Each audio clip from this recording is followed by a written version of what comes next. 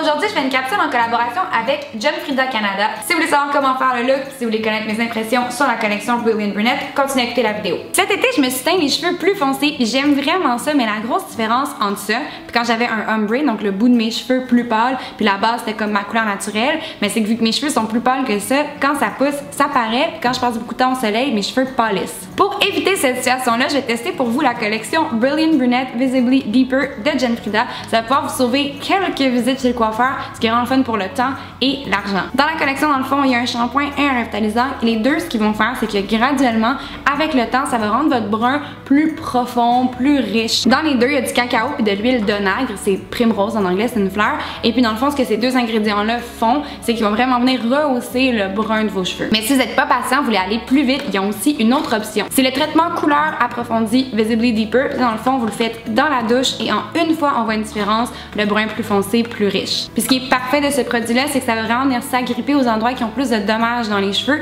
Ce qui est parfait parce que souvent, c'est les endroits plus secs où il y avait des mèches plus pâles, où la couleur va s'en aller plus vite. Moi, c'est vraiment ça, c'est mes pointes qui sont devenues le plus pâles plus rapidement. C'est dur à voir comme ça, mais si, si je mets la lumière de mon iPhone, ouais, on voit vraiment que c'est...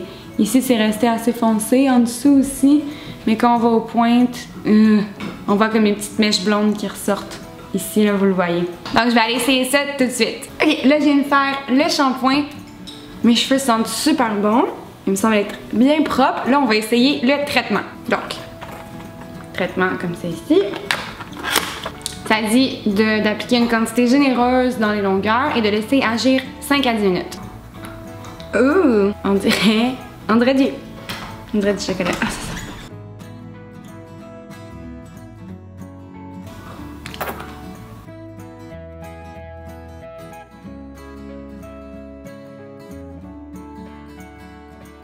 Donc je vais aller me laver les mains, je vais laisser ça agir pendant 5 à 10 minutes, je vais rincer puis je vous reviens. C'est vraiment chic mon affaire.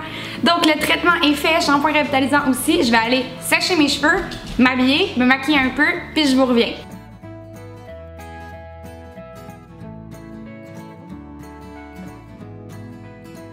Et voilà, le après.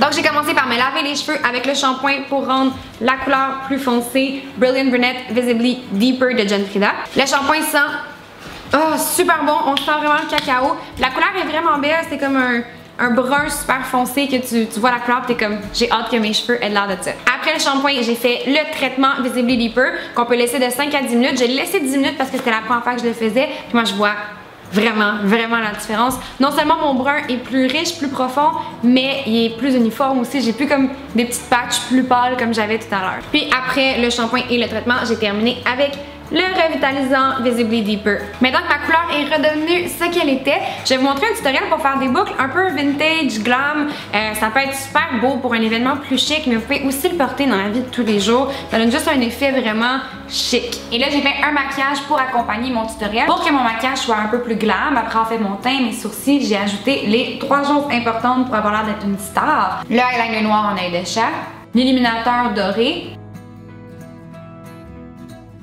puis le rouge à lèvres rouge mat.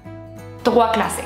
Je vais commencer avec le côté que j'ai moins de cheveux, où j'ai pas ma frange, donc je vais tasser l'autre côté, je vais l'attacher. Je vais commencer par les mèches qui sont près de mon visage. Je vais garder celles qui sont près de mon visage pour la fin. Prenez ce que vous utilisez normalement pour boucler vos cheveux, que ce soit un fer à friser comme ça ou un fer plat. Euh, idéalement, ça c'est un pouce et demi, je crois. Ça serait le plus petit que vous preniez. Si vous avez un 2 pouces, ça va être parfait. On prend des mèches assez larges et on va venir friser vers l'extérieur du visage.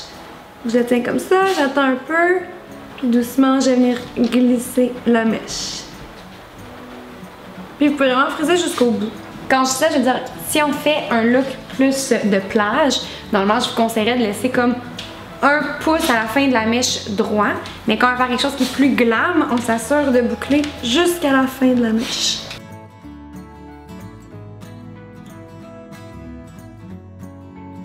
Je vais venir faire tout le reste de ma tête comme ça, toujours en bouclant vers l'extérieur du visage. Puis quand il va me rester juste les mèches tout près de mon visage, je vais revenir pour vous montrer quoi faire rendu là. Maintenant qu'il me reste juste ce qui est près de mon visage, je vais le séparer sur euh, l'épaisseur plutôt que sur la, la longueur. Gardez-vous une petite bob épine pas loin. Et puis là, on va venir boucler, mais vers l'intérieur. Donc, comme ça ici.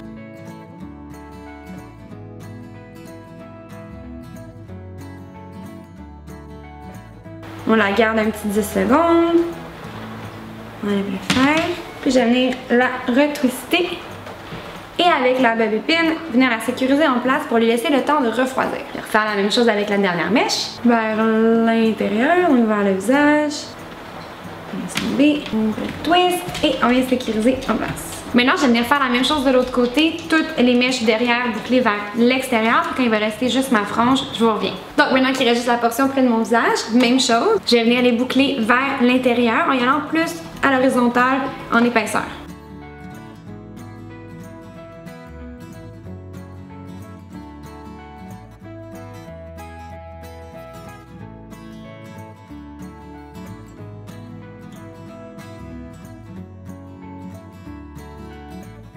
On va laisser toutes les mèches ici euh, refroidir un peu.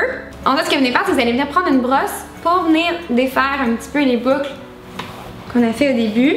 Juste pour donner encore une fois un look un petit peu plus lousse, un peu plus vintage. Ensuite, je vais venir prendre le fixatif de John Frieda Frizzies qui va venir aider à contrôler les petits frisotis, les petits cheveux de bébé, mais qui protège aussi de l'humidité. Je vais concentre sur les longueurs au début parce qu'on va revenir faire ça, mais ça coûte rien d'en mettre un peu partout. Et en plus, ça sent super bon. Voilà, maintenant que les boucles près du visage sont froides, je vais venir enlever les bob épines.